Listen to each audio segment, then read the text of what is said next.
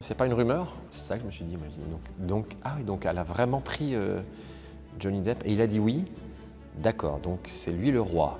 Eh ben, quelle aventure. J'ai pas proposé le rôle à un Américain, j'ai proposé le rôle à Johnny Depp, qui est un acteur que j'aime. Et il se trouve qu'il est américain. Je trouve que Maïwen l'a filmé de façon exceptionnelle. C'est aussi un film sur Johnny Depp. En tout cas, à ce moment-là de sa carrière, cet homme de 60 ans qui a traversé toute cette vie, même un peu cette vie de déglingue, les déboires qu'il a pu connaître. Et c'est un document, les gros plans, le regard de, de Johnny dans ce film-là, c'est beau à voir. Quel genre d'acteur c'est? C'est un mélange entre quelqu'un de très vulnérable, très sensible, très autoritaire aussi.